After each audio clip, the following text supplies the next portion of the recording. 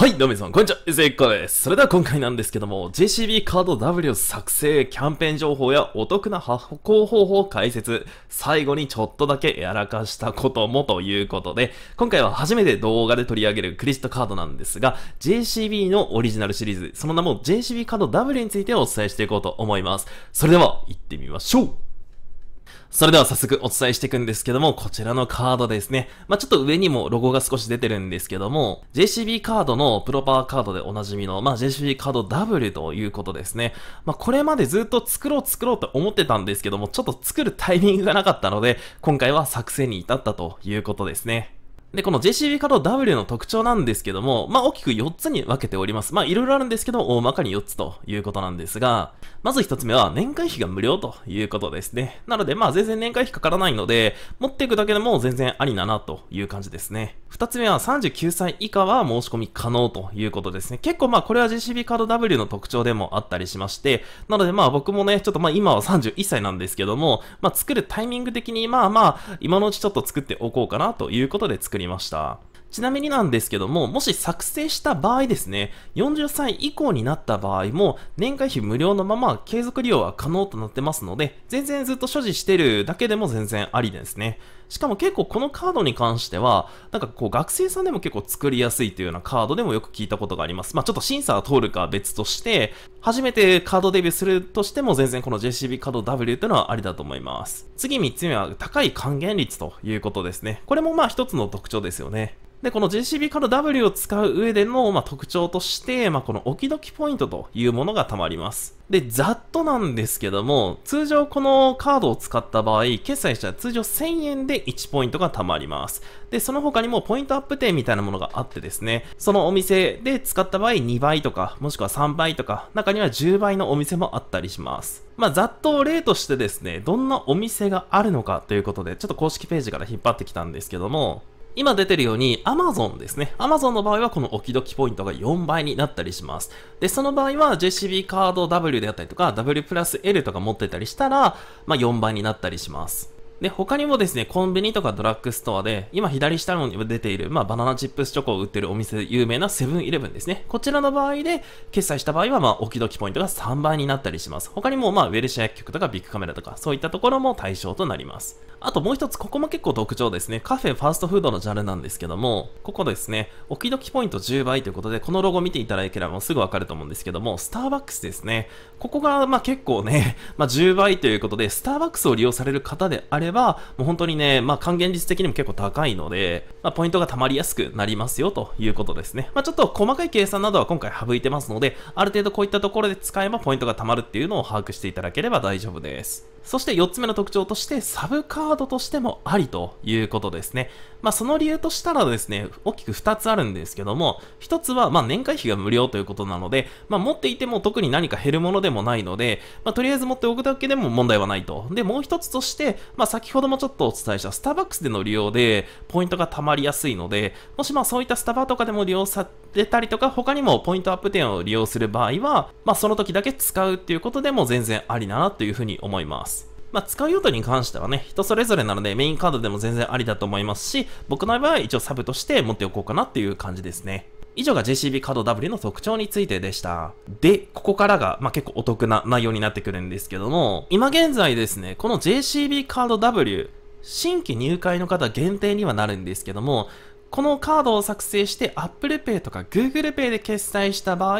20%還元のキャッシュバックを受けることができます。で、まあ先ほどもお伝えしたように、まあ今作っても、まあ年会費無料であったりとか、そして18歳から39歳であれば入会限定のカードとなってますので、結構まあチャンスっちゃチャンスということですね。で、キャンペーンの期間なんですけども、すでに始まっていまして、9月の1日から今年いっぱいの12月の31日木曜日まで開催がされてるということですね。で、実際にどんな風な流れで20%分のキャッシュバックがされるかということなんですけども、まず最初は、先ほどお伝えした JCB カード W、もしくは先ほどピンク色の方ですね、JCB カード W プラス L に新規入会をすると。どちらもまあ年会費無料のカードとなってます。で入会した上で、その後に MyJCB アプリというものがあるんですけども、そこにログインをすると。その後に MyJCB アプリから JCB カード W、もしくは JCB カード W プラス L を Apple Pay もしくは Google Pay に設定すると。で、JCB カード W か JCB カード W プラス L を設定した状態で Apple Pay と Google Pay で決済した場合、ここでまあ20%分のキャッシュバックを受けることができるということですね。まあその決済するときに店員さんにはどんな風に伝えるかっていうと、下にも出てる通り、 QUICPay でお願いしますっていう風に伝えたら、これで Apple Pay と Google Pay の決済が完了ということになります。ちなみにですね、使う端末によっては Apple Pay や Google Pay が使えない場合がございますので、そこはお気をつけください。まあ iPhone であれば iPhone 7以上であれば対応してます。で、残りのちょっと細かい内容なんですけども、で、対象カードは先ほどお伝えした2種類の JCB カード W。で、入会の期間なんですが、ここも先ほどお伝えした通りですね。9月1日から12月31日まで。で、アプリのログインの期限というのが決まってまして、ここに関しては2021年の2月の15日の月曜日までということですね。で、特典なんですが、ここも先ほどお伝えしたように Apple Pay もしくは Google Pay で決済した場合20%分のキャッシュバックを受けることができると。で、上限が5000円なので、実際に利用するのが2万5000円決済したら上限に到達するということになります。で、キャッシュバックの時期に関しては、2021年の4月の12日月曜日お支払い時にキャッシュバックということになりますので、まあ結構ですね、先になりますね。まあ1年とまではいかないですけども、来年の4月あたりということになるので、まあ忘れた頃に付与されるという感じでしょうね。ちなみにちょっと米印でも書いてる通りですね、カードご利用代金明細で、キャッシュバック金額がマイナス表示されますということなので、まあ、そこでご自身の通帳とかですね、まあ、確認していただければと思います。で、ここからこの JCB の20%のキャッシュバックキャンペーンの申し込み上の注意点、ここはぜひちょっと気をつけてほしいんですが、まあ、この上のロゴというか、まあ、よく見たことがあるイラストかなと思うんですけども、まあ、以前ですね、今左側のキャンペーンっていうのが4月、今年の4月から5月30日にまであったキャンペーンで、右側は去年あった JCB の20%キャッシュバックキャンペーンだったんですよね。まあ、結構これはこれで盛り上がったんですよ。で、過去にですね、上記2つのキャンペーンに参加して1円以上でも受け取っていれば、キャンペーンの付与の対象外、キャッシュバックの対象外となりますので、ここは間違えないようにお願いします。あくまでも新規入会して、なおかつ全然その去年とかのキャンペーンには参加してない方限定となります。で、ここも気をつけてほしいですね。まあ、クレジットカード作ったから次デビットカードいけるとかそういったわけでもなくて、プリペイドカードも同じなんですけども、これはクレジットカード、デビットカード、プリペイドカード、去年とか今年参加した方も全部対象ということになるので、あ、対象外となりますので、どんな形であれ、この上記2つのキャンペーン参加した方は対象外ということになります。でですね、まあ、先ほどちょっと冒頭と、まあ、タイトルの時も言ったんですけども、結局、ゆずひこは何をやらかしてしまったんだということなんですが、まあ、先ほどちょっと注意点でこちらを言ったと思うんですよね。過去にこの2つのキャンペーンに参加してる方は、付与の対象外ということで、で、しかも、クレジットカードとデビットカードとプリペイドカードは問わないということも、まあ、先ほどお伝えしたんですが、僕ですね、ちょっと前に、みずほの20%還元キャンペーンに、まあ、参加してたんですよ。しかもこれが、